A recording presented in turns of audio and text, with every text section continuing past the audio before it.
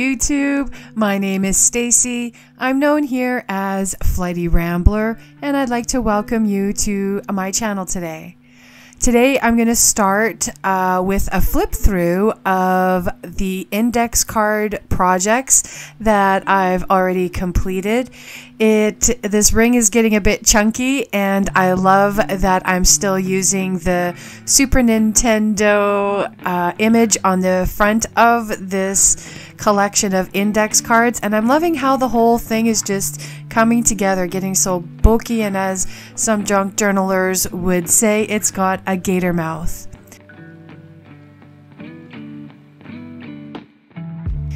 So I'm just to let the music play while I go through these projects.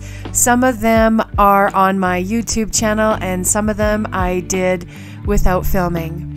If there are any questions about any of these projects, please just put the question in the comments section below and I'll get back to you.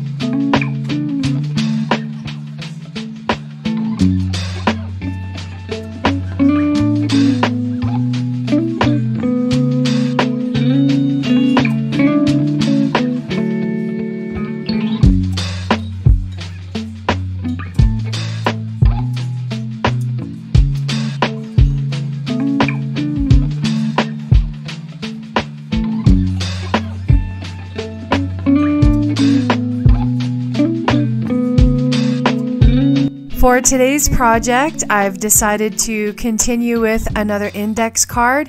I'm going to choose that colorful lesson that I learned from Mimi Bondi and do the reverse. I'm going to start with the cool colors and try putting the warm colors on top. Wish me luck.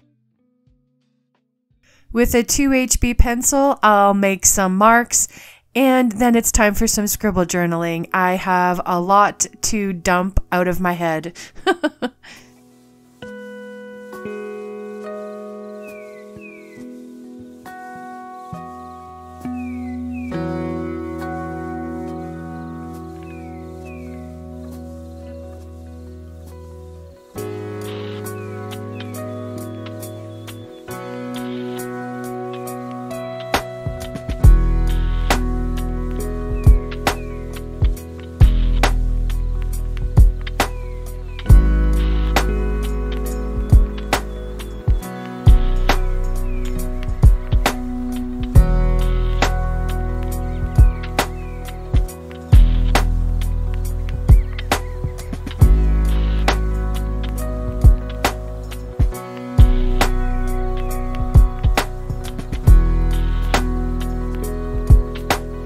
Once I'm done scribble journaling, I will dry brush some gesso on top.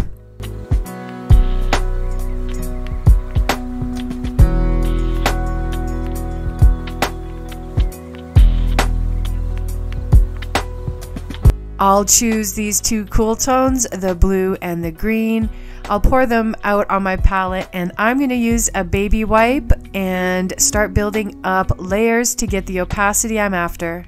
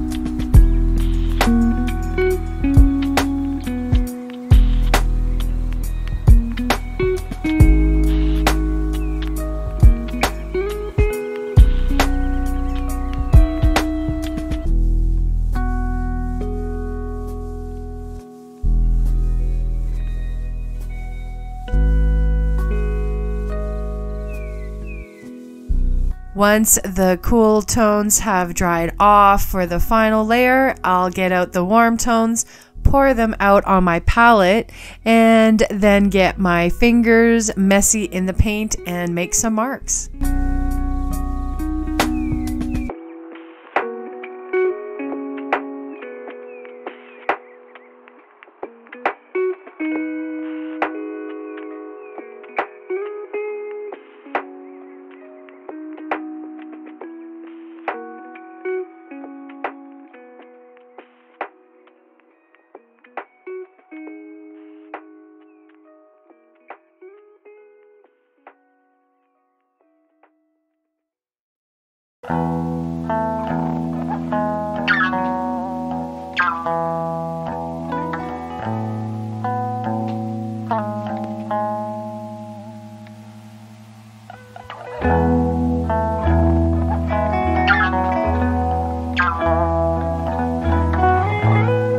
I'm going to choose a darker tone of blue and this small dot stencil and I'll sponge it out across the project bringing everything together. I was going to try to do squares for this project, but it ended up being so pretty with the circles that I duplicated it. I poured out some gesso and will use a cosmetic sponge to add some hazy circles, some fuzzy, fuzzy, fun circles.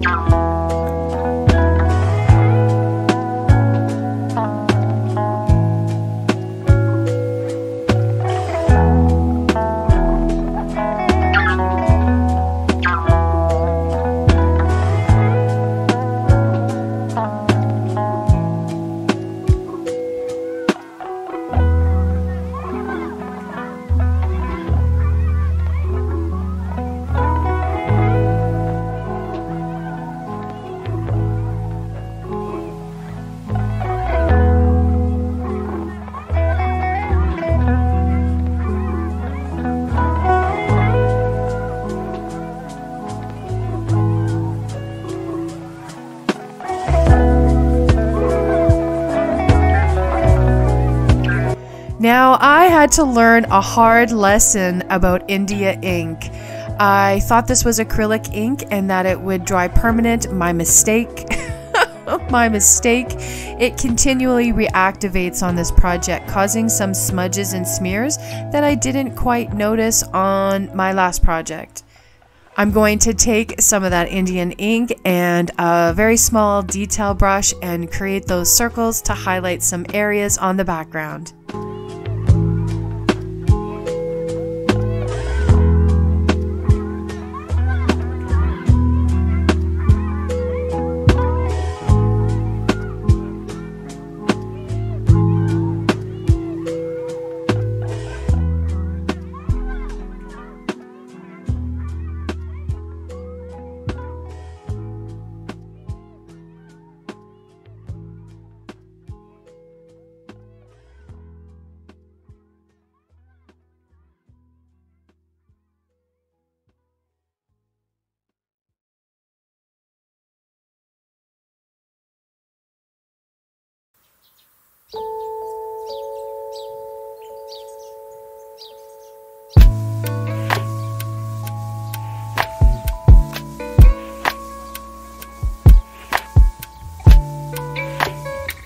And then with that same ink and detail brush, I'm going to add stems and leaves, but my placement of these are going to be a bit more deliberate this time.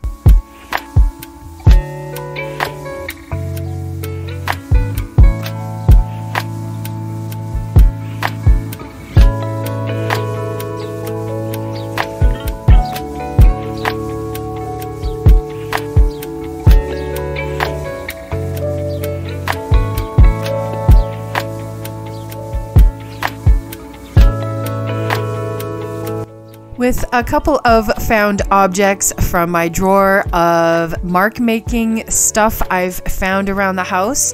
I'll choose two circular objects and go ahead and stamp out some white circles here and there.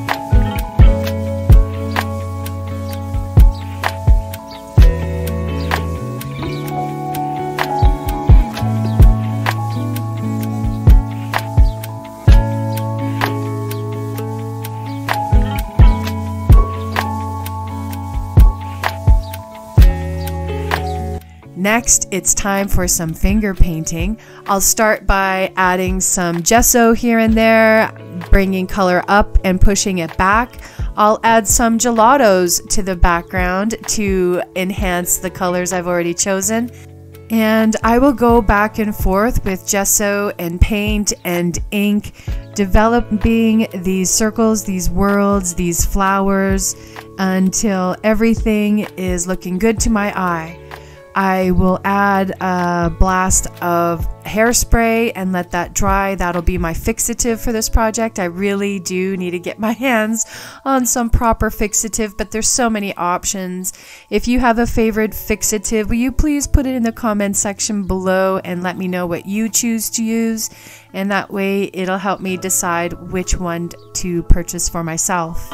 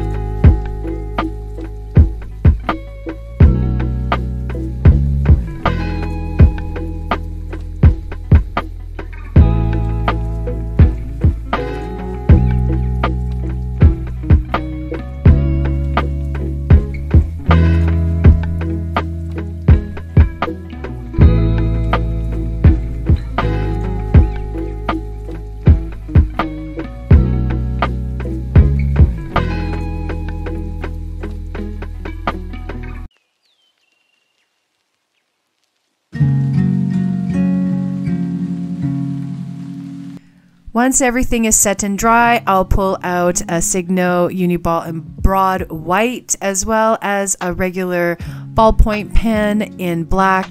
And I'll go ahead and add some doodles to some of these flowers, some of these planets, some of these worlds, some of these bubbles.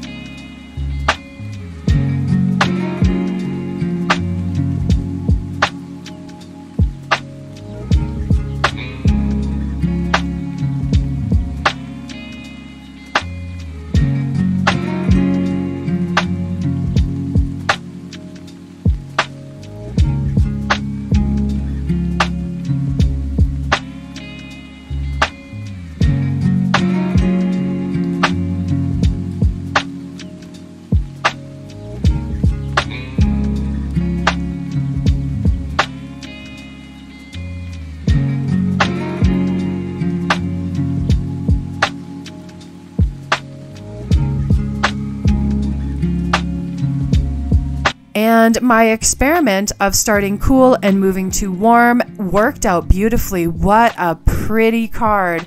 I love how it turned out. The colors are inspiring, even though they're reversed from my last colorful project. And I'm certainly pleased with the outcome. And that looks like that's it for this video. I'd like to thank you for watching and subscribing and commenting and all those good things. And I'll see you in my next video. Bye bye.